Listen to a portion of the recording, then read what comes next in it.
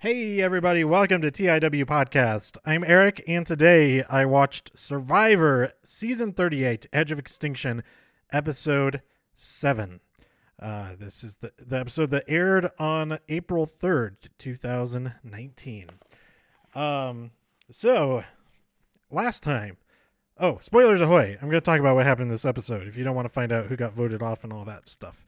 So, go watch it. It's a pretty good one. Not my favorite of the season so far, but it was still pretty good. I I enjoyed the ending.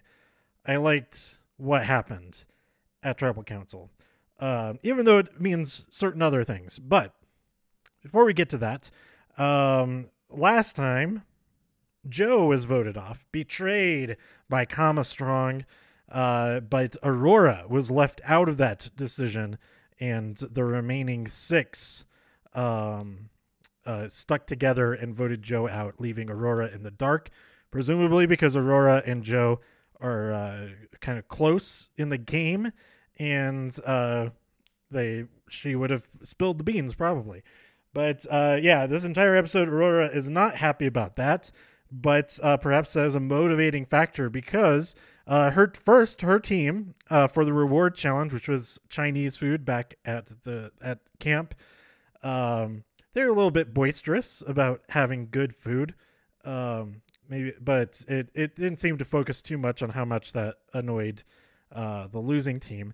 But that team consisted of Eric, Victoria, Julia, War Dog.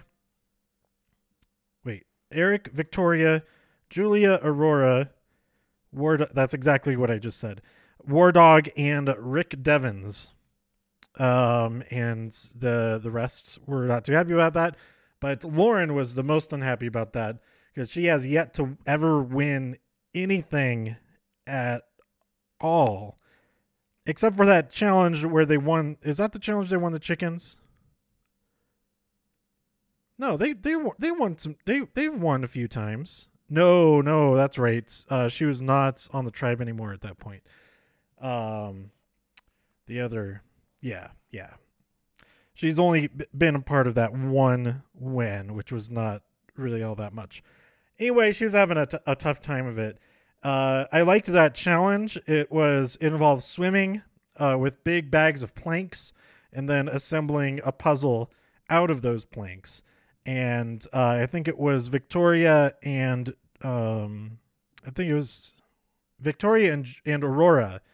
I think were the two assembling the puzzle and they d- did very well. Their the the rest of their team did very well with helping them. maybe it wasn't her. Is Victoria and somebody else, whoever the other person was on her team. But um, yeah, yeah, they did an excellent job. Whereas the other team were just yelling at each other and being very upset with uh, David's inability to put things in holes he got the slat stuck a few times. Um, but yeah, that was a, it was a pretty cool challenge. Not the most complex puzzle, um, but it uh, was enough of a challenge for one team to have a uh, get the jump on the other. Uh, they they got through the obstacle part of it uh, very quickly as well, compared to the other team. Um, meanwhile, over on Edge of Extinction, uh, they all get a bottle with another clue in it, and Aubry finds the clue, uh, finds a piece of parchment and a key, and it is uh, directions to a secret location where she can practice for the next challenge to get back into the game. The first phase of the next challenge, I guess it was something to do with ropes. They didn't actually show what she was doing with those. Um, maybe it was the um like rope obstacle course type. I don't know. I don't know. They didn't show her actually doing it. But she also got an advantage uh, to share with somebody still in the game. And she made a pretty good call um, by giving it to Aurora. Uh, I guess she probably um, could tell that she was on the outs with the others. Um, she was on the outside of that vote. So maybe that was why. But it turned out being a really good move because um, while she didn't need to even use it yet, but um, Aurora then won the immunity challenge.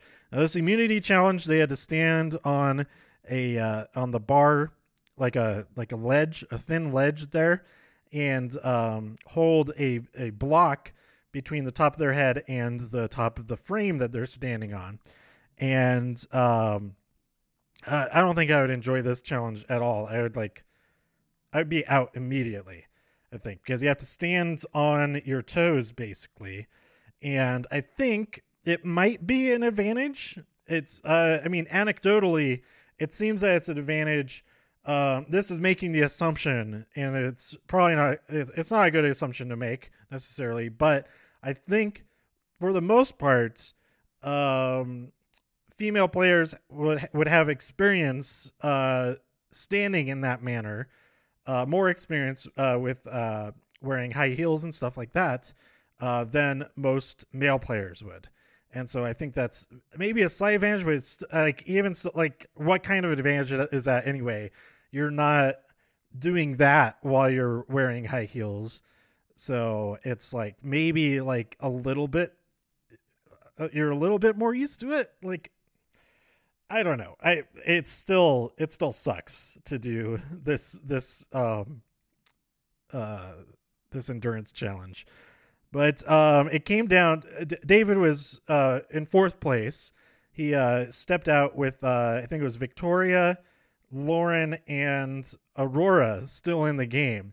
And Lauren straight up passes out, uh, falls right off the block there, and uh, Jeff Jeff is just like, uh, she's probably fine. We have people on it. Just keep going. Stay focused on the game.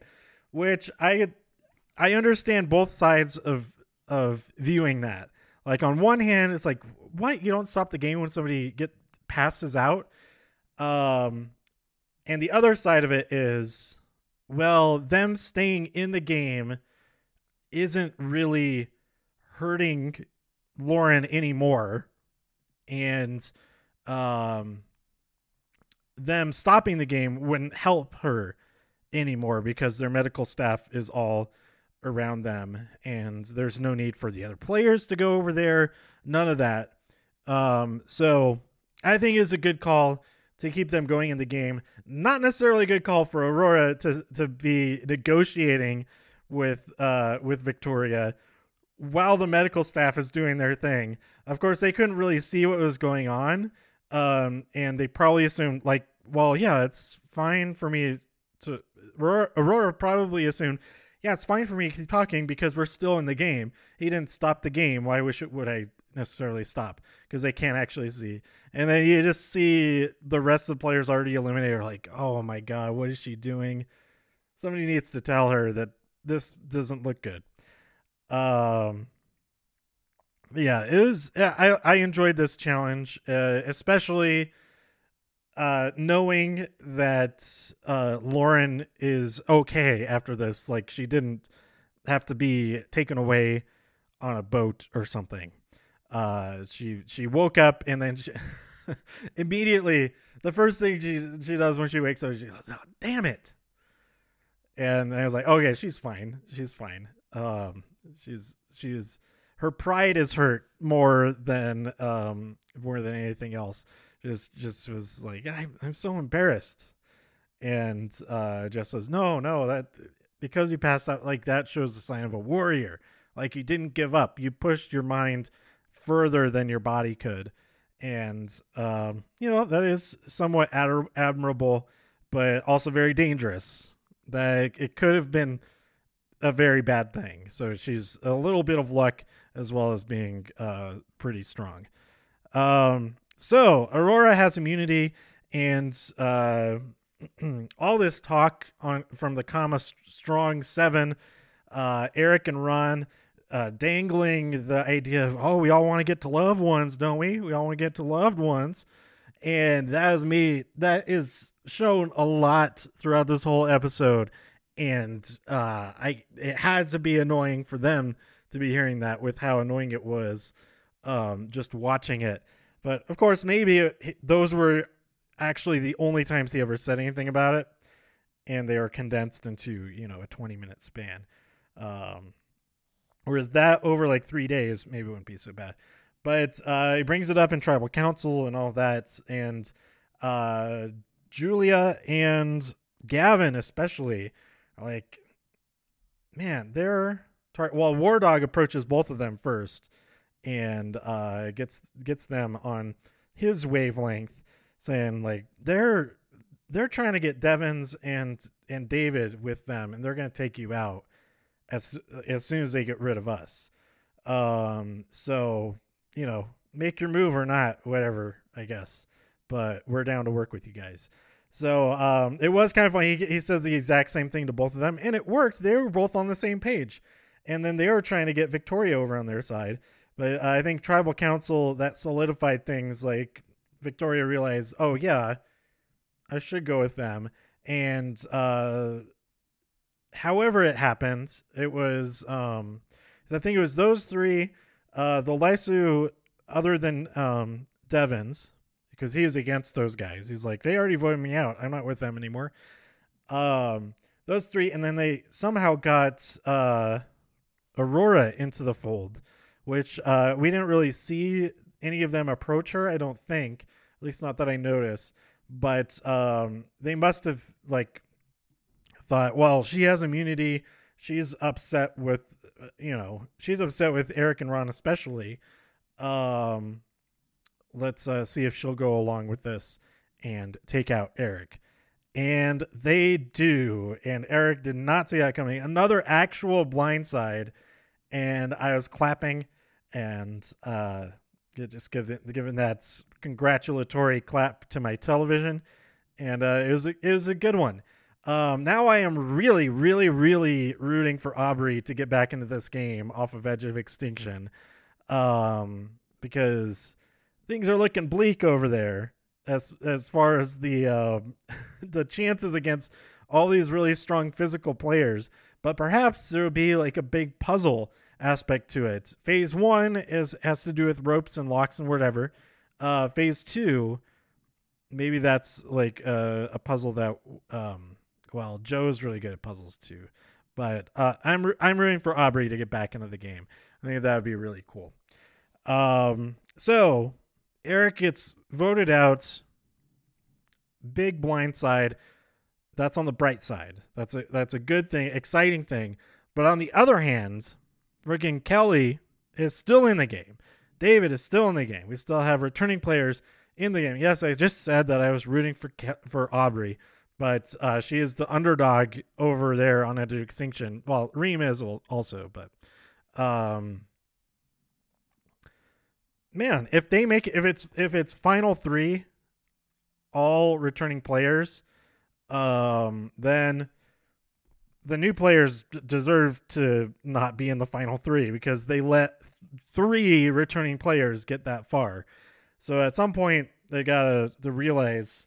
I mean, they already realize we gotta get Joe and Aubry out of here, but uh, one of them can get back into the game. And if you have all four returning players out of the game, then uh, at most only one of them can get back in. But right now, there's still a possibility of three returning players being there at the end. So um, we'll see what happens next. I think uh, this really threw oil on the flames. Is that the phrase?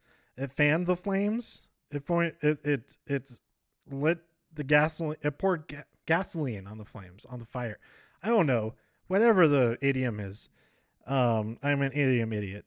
So, uh, yeah, I'm excited to see what happens yet next. I am still rooting. Who did I say I was rooting for? Now, um, uh, did I say? I, I think it's Victoria. Victoria has been my pick for a while, I think. But Julia, oh, she got things going. She got things going in this episode. She made this happen. She convinced the others to go along with it, um, and Gavin to an extent too um, he was on board like right away. So I guess it could be argued that they were both doing it, but really it was War Dog who set it all in motion. But uh, anyway, Victoria is still Victoria and Julia. They're they're my two picks right now, and uh, you know Lauren, it's kind of grown on me a little bit, like in a weird way. I don't. I'm not sure exactly why I I mean she's she's really struggling. Um so I guess it's that kind of aspect to it like I hope she like at least wins a reward and can get some food. And maybe she'll like that will be a turning point and then she'll just like dominate after that and then once she gets one win we've only seen her lose so far basically so i think if we finally do see her win that that could set things into motion yeah the one the one thing that she did win was to get the chickens i think i think that's when that's the only time because that was in ep- episode three and then it was in episode four is when they split into three tribes. So yeah, that's the only win that she's had. Um, there was the episode five point one win, but that was an idol. That was a an immunity win. Uh, so they didn't get any food for that. So yeah, that is a that is a big bummer. She hasn't had any food because they didn't eat the chickens.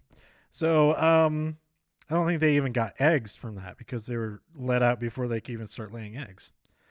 Um, so yeah, that's it for this episode. I'm excited to see what happens next. I will be back in town for uh, by the time the next episode's airs episode airs, so I will watch it right away.